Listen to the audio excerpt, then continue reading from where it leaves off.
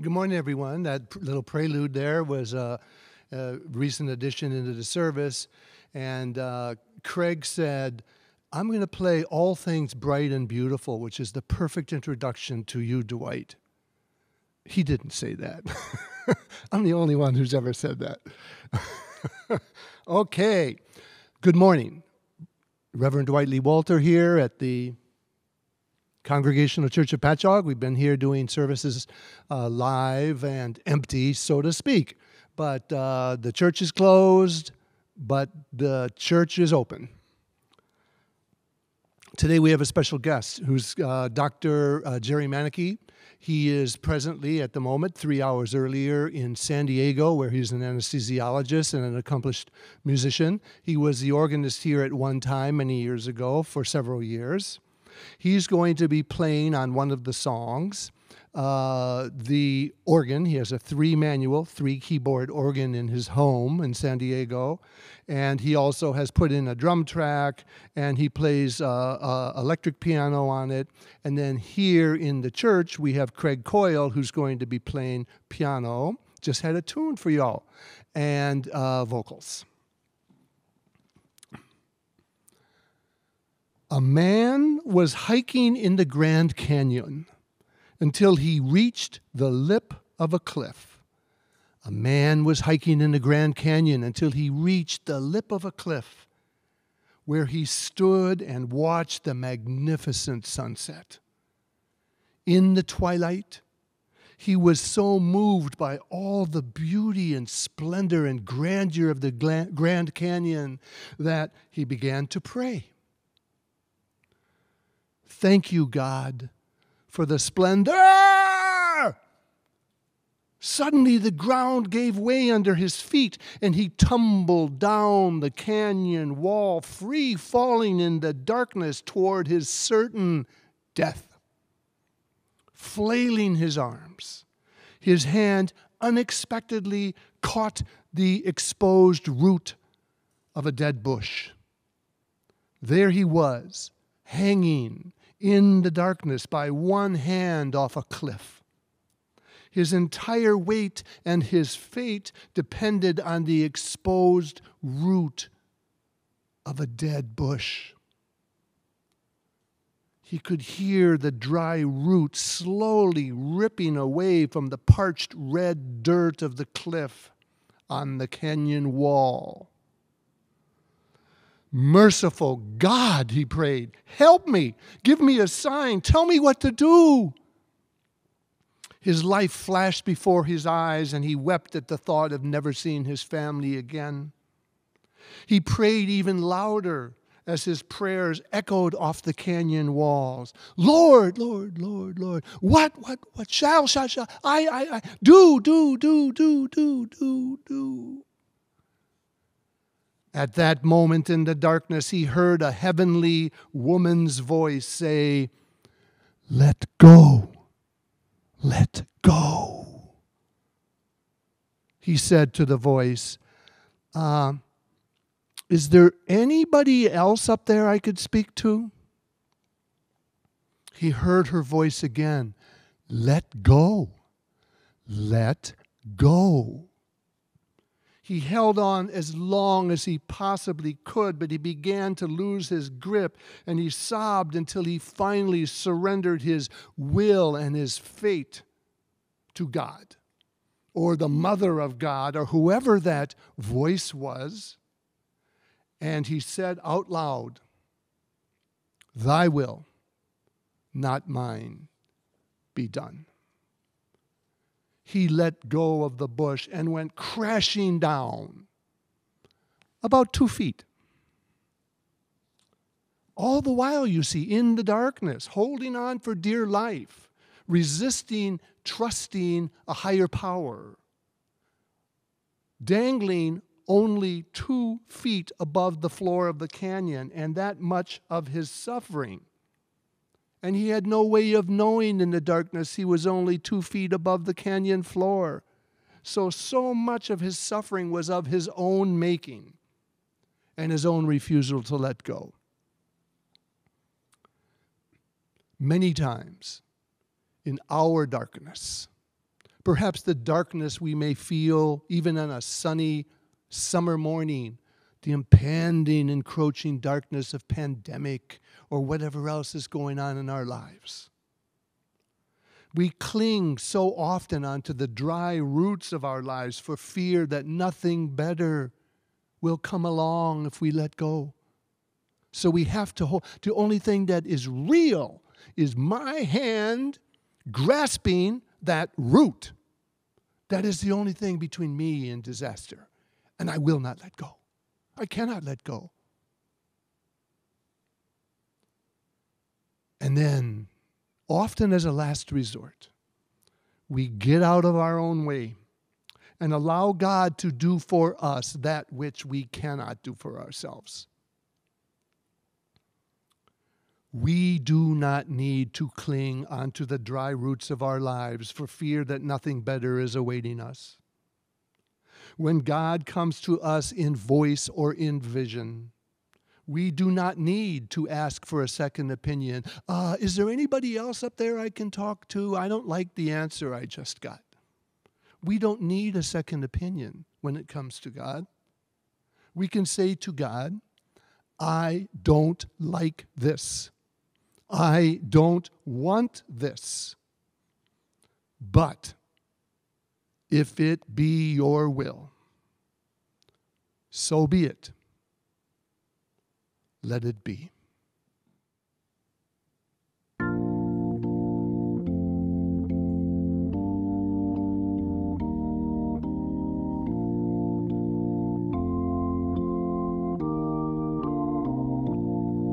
When I find myself in times of trouble, Mother Mary comes to me, speaking words of wisdom, let it be.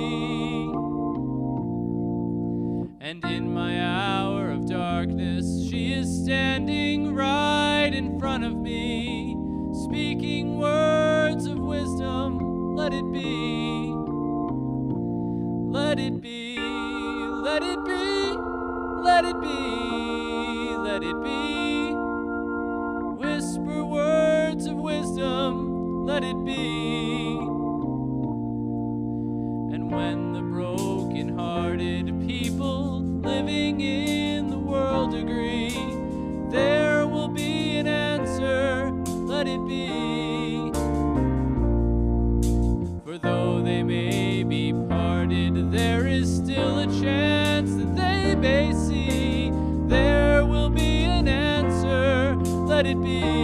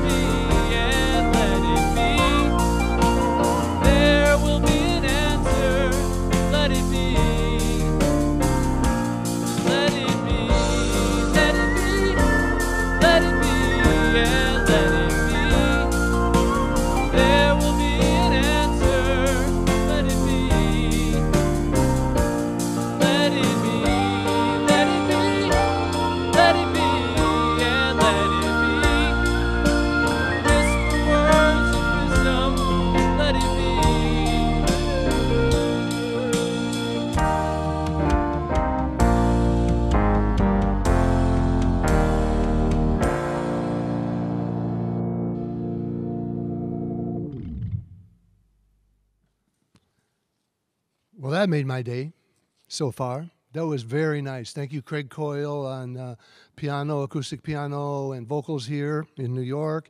And thank you to Dr. Uh, uh, Gerald Manicky in San Diego on the organ, uh, the Hammond organ, the Moog synthesizer, uh, electronic piano, and the drum track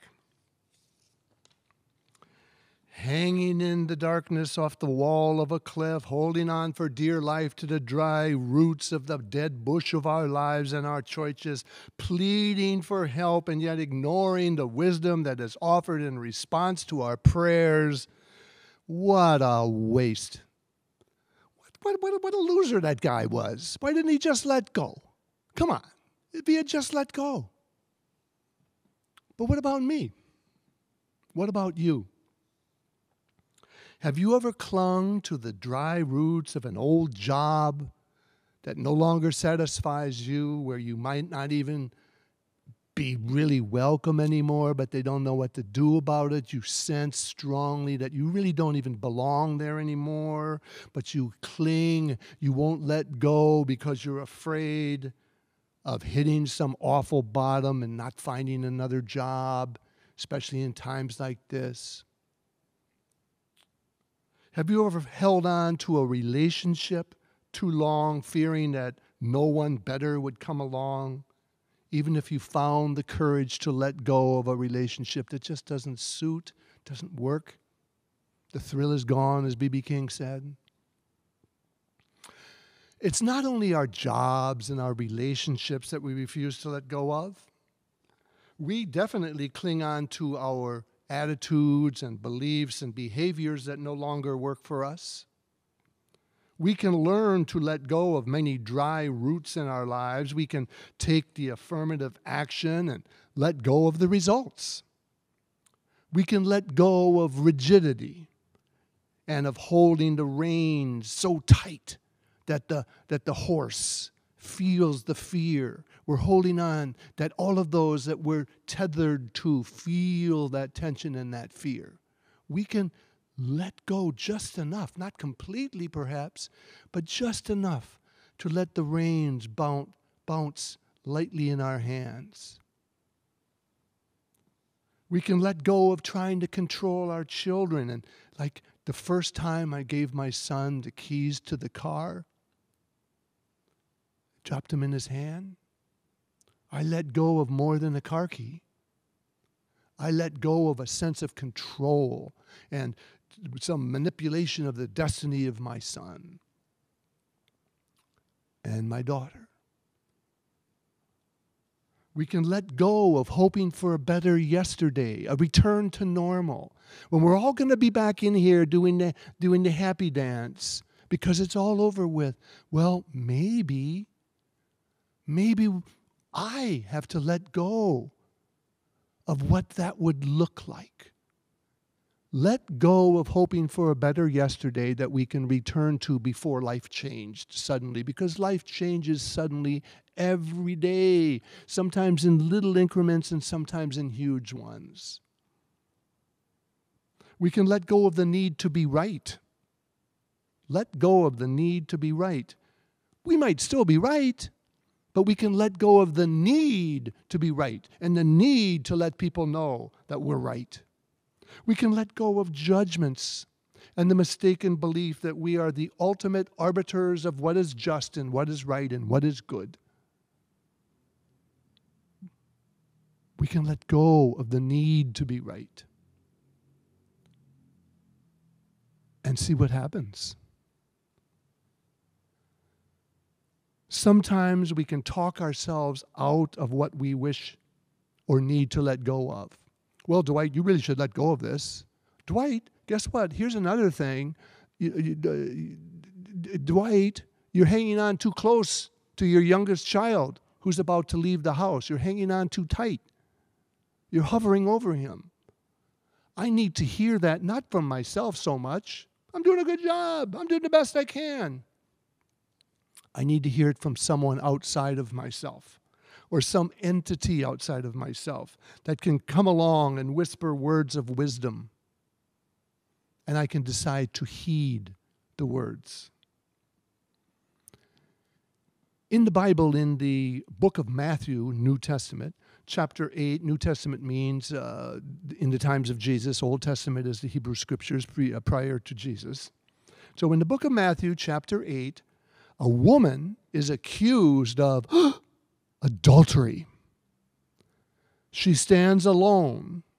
I don't know where the guy that she was supposed to have had an adulterous affair with is. He's not getting in trouble here, but she stands alone facing her accusers who clamor for her to be pelted with stones. They want her to get stoned. This was a punishment in those days that often resulted in death. Nobody says they have to be little tiny pebble. You could throw whatever you feel like. Often death was the result of her getting stoned. with stones in hand, they turn and ask Jesus what he thought. And then it was like kind of a trick in a way because they wanted him to show, they wanted him in this situation to show that he was like uh, soft on crime. As they spoke, strange little thing in the Bible, as they spoke, Jesus was kneeling and writing something with his finger in the sand. All the while this is going on. Stone her, she deserves, she's an adulterer. He's writing something. And the Bible doesn't tell us what he was writing, but he's writing something with his finger in the sand. And then when he hears, Jesus, what do you think, huh? Huh? Come on, guy, tell us. Tell us. So he rose and said to them, Let the one who is without sin cast the first stone. They dropped their stones of judgment and walked away. And then, strangely again, Jesus kneels back down and continues writing something with his finger in the sand. Well, I have a confession to make here in the church, pastor of this church. I get stoned regularly and I bet you do too. And the early Christians got stoned all the time for refusing to abandon their belief in Jesus as the Christ in a time when the government in Rome declared not only allegiance to the government, but they declared thusly that you are pledging allegiance essentially to Caesar, who is the divine ruler as well as the political ruler.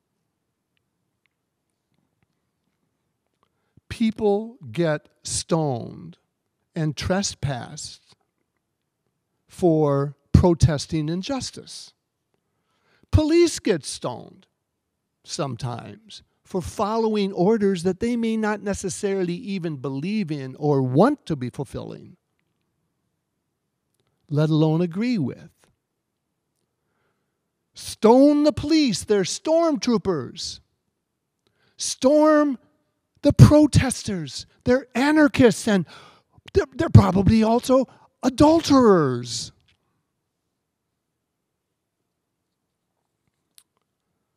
Everybody must get stoned. Well, I would not feel so alone. Everybody must get stoned. You stand your ground, you speak your truth, you draw a line and defend a boundary with your boss or your lover or your friend or your government. You refuse to laugh at racist, misogynist jokes. You protect and defend disempowered people. You take a knee or you dare to defiantly walk across the Pettus Bridge you say the Pledge of Allegiance or you refuse to say the Pledge of Allegiance. You say, oh, my gosh, what's he doing over there? You say grace out loud with your family at a table in a restaurant. And then look out. You're going to get stoned. You stand up for your beliefs, you state your truth, sometimes to power, and you're going to get stoned. As Bob Dylan writes, they'll stone you when you're trying to be so good. They'll stone you just like they said they would. They'll stone you when you're trying to go home, and they'll stone you when you're there all alone. But I would not feel so all alone. Everybody, everybody must get stoned.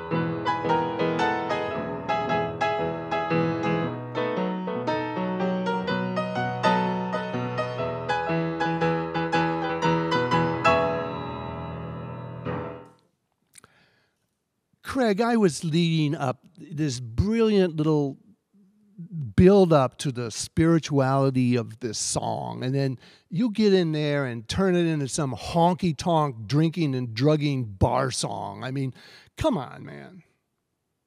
Well, many people believe, including Craig himself, when I first told him, I said, I think I'm going to do this song. I think I'd like us to do this song next Sunday. And he goes, Oh. I said, Red flag? He said, Lots of red flags. I said, Why? And he said, Well, it's a drinking and drugging bar song. I said, Well, let's talk. And we talked about it a little bit. This song, it's not called Everybody Must Get Stoned, but everybody, you know, likes that title. It's actually called Rainy Day Women 12 and 35. And it was written by Bob Dylan one night when he realized that in the eyes of the press and in the eyes of the world, he just not could he just could not do anything right. Andy Falco, uh, Grammy Award-winning guitarist, might be watching this show this morning. So I'm wondering if Andy would could type in a comment and correct me on this if I'm wrong. But I believe it was at the Monterey Festival that Dylan first plugged in and played electric, and he was booed off the stage booed off the stage because he had the audacity to pl- to plug in and use an electric as opposed to an acoustic guitar. Oh my God, they could not let go of that rigid concept of what this festival was about, what music was about. They know they're the arbiters of good and bad, right or wrong. After all, they're there. And what's this guy Bob Dylan know anyway? He's wrong. Get off the stage. Boo! So he discovered that no matter what he did, it seemed, the reporters, if he did this, they didn't like it. If he did that, they didn't like it. He couldn't do anything right. And so he wrote Rainy Day Women 12 and 35. Everybody must get stoned. Dylan was inspired to write this song, according to his own words, by a story in the Bible and the cruel treatment that the early disciples of Jesus had received. Bob Dylan's work is full of references to Hebrew scripture. I mean, he was born and raised Jewish. Uh, the, the, Hebrew scripture, the Old Testament and the New Testament, full of every grain of sand. You know that song? You should. We'll perform that in the near future. If you're lucky, I might even sing it. Or if you're unlucky, I might even sing it. So Dylan was inspired to write this song by a story in the Bible about the persecution and the cruel treatment of the early disciples of Jesus. In getting stoned, he was in good company. Bob Dylan, winner of the Nobel Prize for Literature, took a deeply spiritual truth.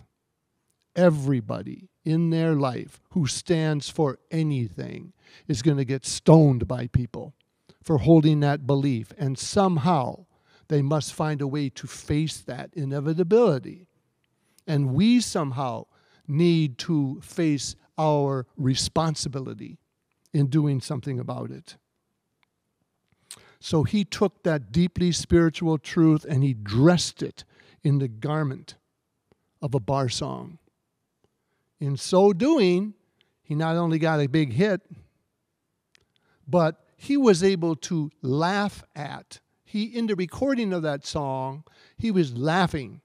He was able to take that stoning and find a way to look at it in a way that he could laugh at and rise above his own suffering, his own stoning, and the suffering and stoning endured by others throughout history.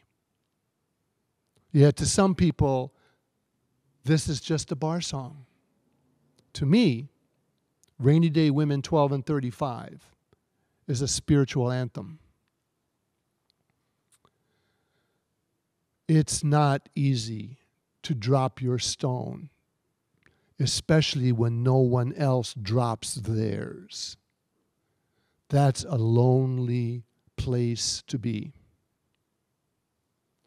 But you need not feel so all alone.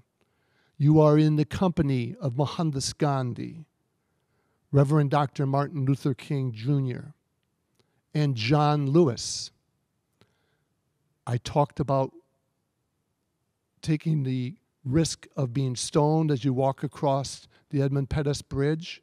Well, this morning, perhaps as I am speaking to you, the coffin, the body of John Lewis is being carried across the Pettus Bridge, where he was stoned and clubbed for having the audacity of walking across the bridge in a peaceful civil protest. He is being carried across that bridge in his coffin on the way to his final resting place. God bless him. May he rest in peace. And Jesus said, Let the one who was without sin, let the one who is without sin cast the first stone. That is not me. I have no option but to drop the stone of judgment and violence and scorn and criticism and manipulation, of using the power vested in me as a way to get over on other people. I have no option but to drop that stone. And like the disciples, like the crowd that was eager to punish the woman, to drop the stone and go home. But before I do so, for those who care to join, let us pray aloud and together wherever you are. You may be the only voice in your house, but you're joined with the voices not only of everybody else on this uh, broadcast, but also with the voices of people who have been praying this prayer using whatever words they may be most familiar with for millennia as we pray. Our Father who art in heaven, hallowed be thy name. Thy kingdom come, thy will be done on earth as it is in heaven.